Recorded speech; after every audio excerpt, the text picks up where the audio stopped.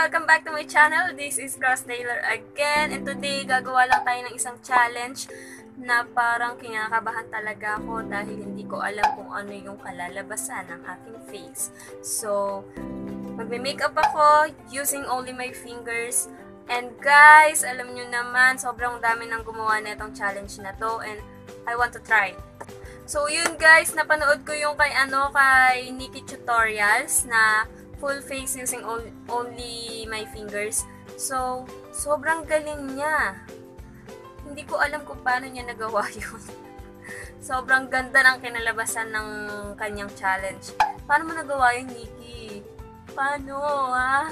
Paano? Tapos, yun guys, and start tayo. Kinakabahan ako, guys. So, lagay lang tayo ng BB cream. BB cream.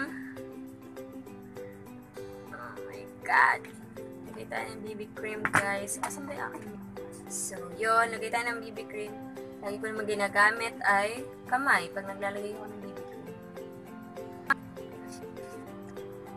Ay, hindi ko alam kung paano nagawa ni Nikki yun. Ang, ano, ang ganda ng kinalabasan ng makeup.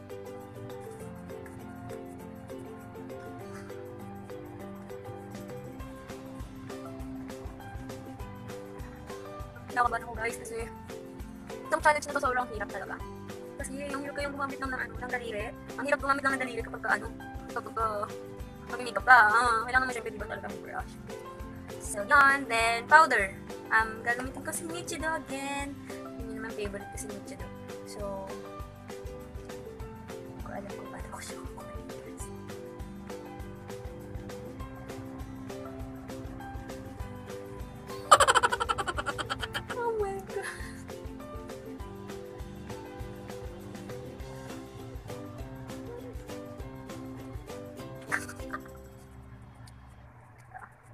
Try natin guys.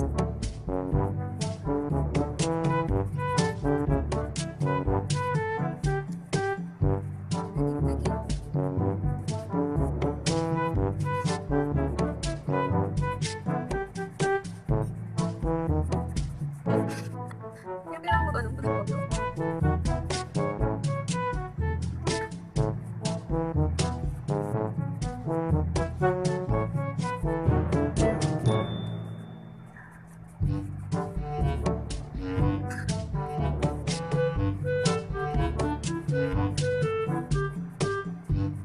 Clean tayo guys, so gagamit na ako ng gamit ako ng, may talong na ng kulay brown.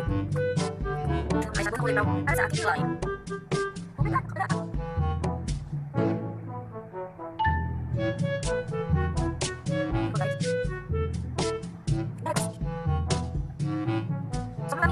Guys. Guys. Na na pa siya. Nahihirapan na ako. Ayos. So, parang nalagyan ko. Kumuha ko kami ng ano, ng,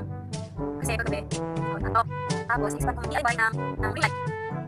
Ito naman dito sa mga talaga ng light. And, alam niyo ako guys, mga talaga magandang kulay, bilang gusto. Yun na lang. Oh, ito na yun.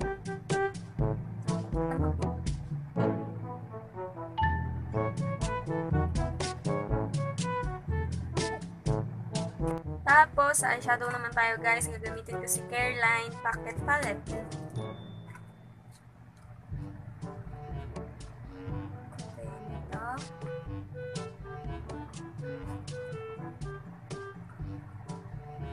Mm-hmm.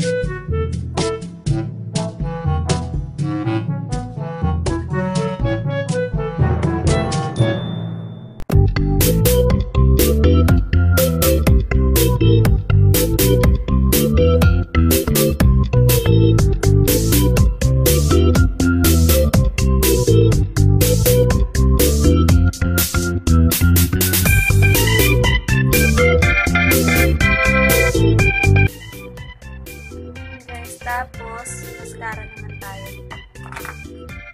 Mascara!